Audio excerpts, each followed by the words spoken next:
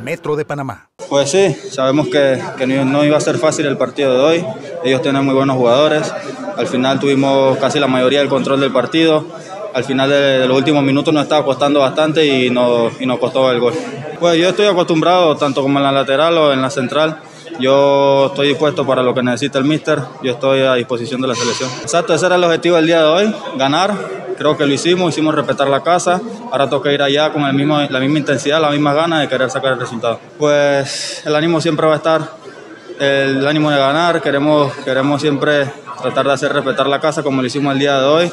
Iremos allá con las mismas ganas para sacar ese resultado. Exacto, y ahora toca ir al hotel, recuperarnos y después pensar en el partido de Curazao. Pues siempre los jugadores más viejos tratan de, darme ese, apoyo, siempre, siempre están ahí hablándome dentro y fuera de la cancha, los escucho bien y creo que por eso es que estoy haciendo las cosas bien y, y estoy jugando.